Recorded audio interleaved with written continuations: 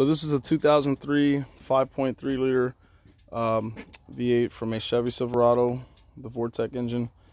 And I uh, just wanted to show the differences between these coolant tubes. This is the old, uh, this is the new style. It's just a bridge right here. Um, and then they can't, they got rid of these and just put caps right here. Uh, the old one that I have, my original motor out this truck, it's a 2000 Silverado.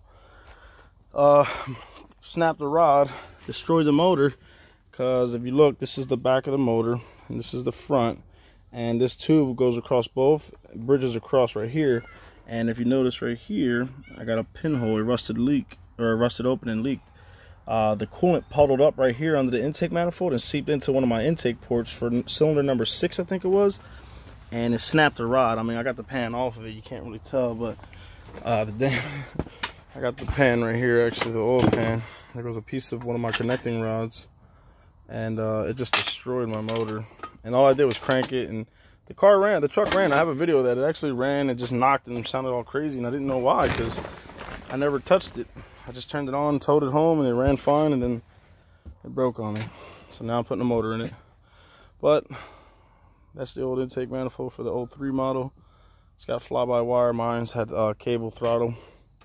Put new brake lines on this thing. Just can't wait to get it running.